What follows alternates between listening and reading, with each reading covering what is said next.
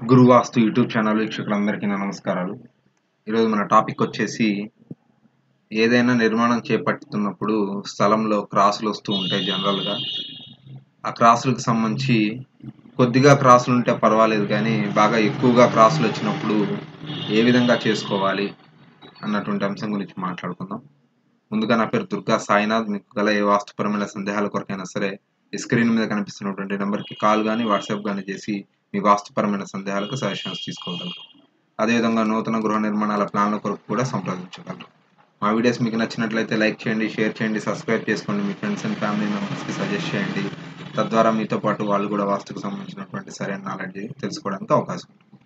టాపిక్లోకి వెళ్ళిపోతే జనరల్గానే మనం నూతన గృహ నిర్మాణాలు చేపట్టేటప్పుడు మూలమట్టం తీసుకుంటుంటాం. ఆ మూలమట్టం తీసుకున్నప్పుడు ఏదో ఒక భాగంలో కొంత క్రాస్ అనేది పోతూ ఉంటుంది. అంటే స్ట్రైట్గా తీసుకున్నప్పుడు పొడవ వెడల్పు సరిగ్గా లేనప్పుడు ముందు ఒక వ- ముందు వైపు ఒకలాగా వెనక వైపు బ్యాక్ సైడ్ ఒకలాగా సైడ్లో ఒకలాగా డిఫరెంట్ డిఫరెంట్గా సైట్ డైమెన్షన్స్ ఉన్నప్పుడు ఏదో ఒక మూలను ఖాయం చేసుకుంటూ మనం మూలమట్టం తీసుకోవడం జరుగుతుంది. ఆ మూలమట్టం తీసుకున్న తర్వాత ఏదో ఒక భాగంలో తీసుకున్నటువంటి ప్లేస్ నుంచి కొంత క్రాస్లు అనేవి పోవడం జరుగుతుంది. అంటే అడిషనల్గా ఉన్నటువంటి స్థలాలు ఉండడం జరుగుతుంది.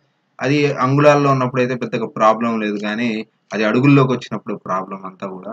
ఇక్కడ మీరు అబ్జర్వ్ చేస్తే ఈ ఇమేజ్లో ఇది వచ్చేసి ఉత్తరం ఫేసింగ్ హౌస్. ఈ ఉత్తరం ఫేసింగ్ హౌస్కి సంబంధించి నైరుతిలో రెండున్నర అడుగుల దాకా ఖాళీ రావడం జరిగింది. ఏంటి అని అంటే స్టార్టింగ్లో పదిహేను అడుగులు ఉంది బ్యాక్ సైడ్ వచ్చేసి పదిహేడున్నర ఉంది. దానికి సంబంధించి రెండున్నర అడుగులు మరి మనం సరే సరైనటువంటి డైమెన్షన్స్తో కట్టాలి కాబట్టి వాస్తు ప్రకారం చెక్ చేయించుకొని ప్లాన్ తీసుకుంటున్నప్పుడు వాళ్ళకి సంబంధించి ఫ్రంట్ పదిహేను ఉంది బ్యాక్ సైడ్ కూడా పదిహేను పెట్టేసేసి మూల మట్టం తిప్పినప్పుడు రెండున్నర అడుగులు నైరుతి భాగంలో వాళ్ళకి కట్ అయిపోవడం జరిగింది. తర్వాత అదేవిధంగా దక్షిణ నైరుతి భాగంలో కూడా ఇది వచ్చేసి పశ్చిమ నైరుతి భాగం. దక్షిణ నైరుతి భాగంలో ఒక నాలుగు అంగుళాల చిల్లర నుంచి ఐదు అంగుళాల చిల్లర వెళ్ళడం జరిగింది. అది పూర్తిగా వదిలేయడం జరిగింది. అది బ్యాక్ సైడ్ ఓపెన్ ప్లేస్ ఉంది. ఫ్యూచర్లో వాళ్ళు బ్యాక్ సైడ్ కట్టుకున్నప్పుడు అది వాళ్ళకి ప్రహరీ గోడలో వాళ్ళకి ఉపయోగపడుతుంది. ఇక్కడ మాత్రం ఇప్పుడు రెండేళ్ళ మధ్యలో ఉన్నటువంటి స్థలం ఇక్కడ అబ్జర్వ్ చేస్తే పక్కన ఈ ఇంటికి సంబంధించి పడమర కూడా ఏదైతే ఉందో దానికి సంబంధించి పడమరలో కూడా ఇల్లు అనేది ఉండడం జరిగింది. ఆ ఇంటికి సంబంధించి ఈ ఇంటికి సంబంధించి మధ్యలో ఈ గ్యాప్ రావడం వల్ల వాస్తు దోషంతో పాటు ఇక్కడ ఖాళీ ఉండడం వల్ల పడమర ఖాళీ ఉంటుంది తూర్పు వైపు ఖాళీ ఉండదు క్రాస్ తీసుకున్నప్పటికీ కూడా ఒక గల్లీ మాదిరిగా ఈ విధంగా పడమర భాగంలో ఉండడం వల్ల పడమర నుంచి వెంటిలేషన్ వస్తుంది తప్పితే తూర్పు నుంచి వెంటిలేషన్ రాదు. సరే దీన్ని ఎట్లా సరి చేసుకోవాలి అని అంటే మరి దీనికి సంబంధించినటువంటి పెంపు సంబంధించినటువంటి దోషము అంటే ఇక్కడ మీరు అబ్జర్వ్ చేస్తే మొదటగా ఫస్ట్ ఏం చేయాలంటే ఇంటి ఆయానికి సంబంధించినటువంటి దానికి సంబంధం లేకుండా ఎడిషనల్ గోడ పెట్టించడం జరిగింది. ఆ రెండున్నర అడుగులకు సంబంధించి మధ్యలో ఒక థర్మాకోల్ షీట్ పెట్టేసేసి సపరేట్గా గోడ పెట్టించడం జరిగింది. తర్వాత సరే ఇంకా పడమర గల్లీ ఉంది కదండి దీన్ని ఎలా బ్యాలెన్స్ చేయాలి అని అంటే మీకు డౌట్ రావచ్చు. ఈ పడమర గల్లీకి సంబంధించి వాస్తు దోషంతో పాటు మనకి సాధారణ సౌకర్యానికి సంబంధించి కూడా సమస్య ఉంటుంది.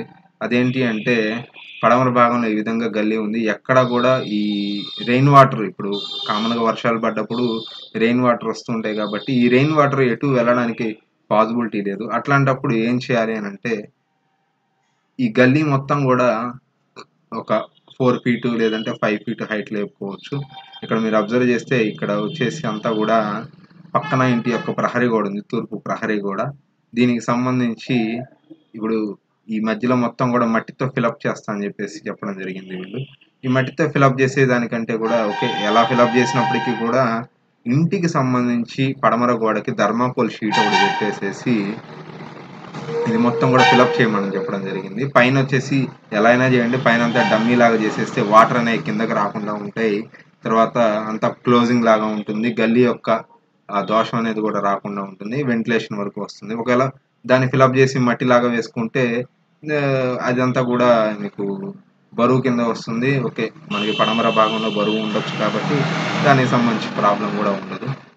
ఈ విధంగా చేసుకోవడం ద్వారా ఇక్కడ మీరు అబ్జర్వ్ చేసినట్టు ఇక్కడ ఎలా అయితే ధర్మాకోల్ షీట్ పెట్టారో అదే విధంగా ఈ ఇంటి గోడ నానుకొని ఎంత వరకు అయితే ఎంత ఎత్తు అయితే గోడ కడతామో ఎంత ఎత్తు అయితే మట్టి ఫిలప్ చేస్తామో అంత ఎత్తు మధ్యలో ఇంటికి సంబంధించి గల్లీకి సంబంధించి మధ్యలో ధర్మాకోల్ షీట్ పెట్టేసేస్తే దానికి సంబంధించి దోషం వాస్తు దోషము లేకుండా ఉంటుంది. మేజర్గా మనకి డ్రైనేజీకి సంబంధించి రెయిన్ వాటర్కి సంబంధించినటువంటి ప్రాబ్లం కూడా లేకుండా ఉంటుంది. ఇటువంటి పని చేసుకోవడం ద్వారా రెండింటికి సంబంధించి సౌకర్యానికి సంబంధించి వాస్తుకు సంబంధించి రెండుకి సంబంధించి కూడా మనకి ప్రాబ్లం లేకుండా ఉంటుంది. Thank you thank you for watching